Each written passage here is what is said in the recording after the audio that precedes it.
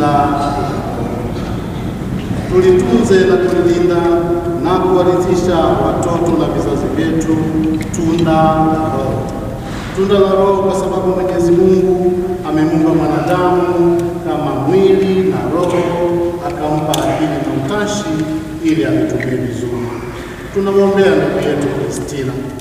Ili baada ya kumaliza safari yake namna hii, Mwenyezi Mungu ampe Nakumbuka katika mahangaiko yake ya dakika za mwisho, padre aliitwa, alipojaribu kuongea naye alishindwa, lakini alimpaka mafuta matakatifu na Kristina akamaliza safari yake kimya kimya.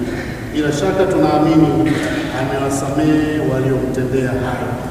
Tunamwombea rehema mbele ya Mwenyezi Mungu na Mungu amsamehe yeye katika udhaifu aliotenda kama binadamu.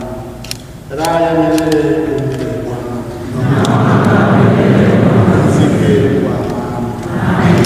hii tunachukua muda huu kuwapa pole sana ndugu, jamaa, marafiki, majirani, wana kijiji, lakini pia wanachama Chama cha Mapinduzi, serikali kuwapa pole kwa tukio hilo, na hasa kumpoteza mwanachama mwenzao, lakini pia Mtanzania mwenzetu. Pole sana, Mungu